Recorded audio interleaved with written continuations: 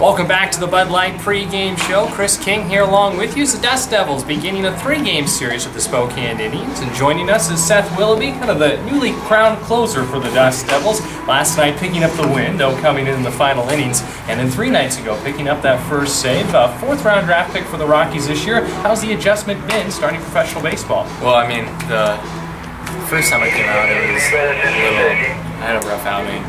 Um, gave up a home run my first first guy faced, but ever since then, I mean, I've just kind of fallen into a routine and feel like I can make my pitches and get these guys out.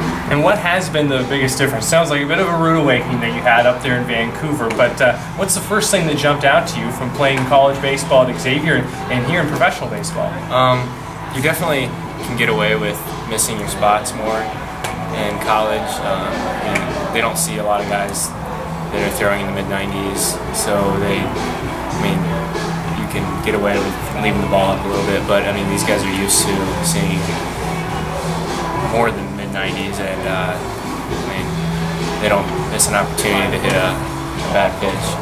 And the all-time career saves leader at Xavier, when did you really start to take to that role as the stopper? Um, I came in mostly doing uh, just infield and um, slowly worked my way into closing my freshman year about halfway through the season, and I've just been been there ever since. Talking with Seth Willoughby here on the Bud Light pregame show, and going back to your college days, uh, talking about a little bit beforehand, but you had a hand injury, broke uh, broke your hand, and that kind of propelled you a little bit into focusing on pitching, and obviously it's worked out pretty good. Yeah, I, I was able to fall into a, a better routine and really work on keeping my delivery the same every for every pitch, and um, just the rest that I was able to get, not playing the field, running around all the time, and in practice and working on mechanics and stuff like that, and I just gained velocity from it, and I, yeah, it definitely didn't hurt me. Let's put it that way. And that's certainly something that can't be understated. Is gaining that velocity. Yeah. How did that happen? I I honestly don't really know. I think it has a lot to do with. Uh, just lifting more for pitching. I mean, I was, I mean, I, have dropped like 20 pounds since I broke my hand, and um, I don't know, really just the rest that I was able to get. So I think those two things had a lot to do with it.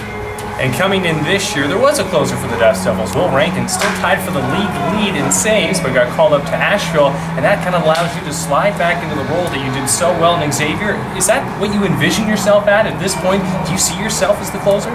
Um, yeah, I definitely. I like the role of closer. Will Will's a great guy. He, I mean, he had a great job here, and he deserved to be in Asheville. Um, but yeah, I'm just gonna go out there and try to do what I can and help the team win. And it takes a bit of a different mentality to be the closer. What's your thought process when it comes to the seventh inning, the eighth inning when it's close and you know you might be getting the nod? Yeah, I'm definitely. I get a little antsy. The guys kind of make fun of me down there because I'm always pacing around. Because I, I mean, I really just want to go in and like do what I can, help the team win. But uh, yeah, I, I just kind of stick to my routine, and, if my number gets called, then I'll go in and get go in there and do what I can. Well, thanks for the time, Seth, and continued good luck this year. Well, thank you. Appreciate it. That's Seth Willoughby here on the Bud Light pregame show. We'll take a break. When we come back, we'll take a look at the scoreboard in the Northwest League and also bring you the starting lineups and first pitch as the Dust Devils open a three-game series with the Spokane Indians.